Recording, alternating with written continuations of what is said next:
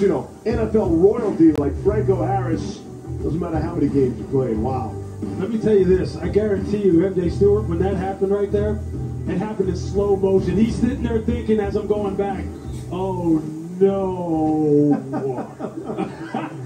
hey, man. Sometimes you're the hammer, sometimes you're the nail. I think we know where.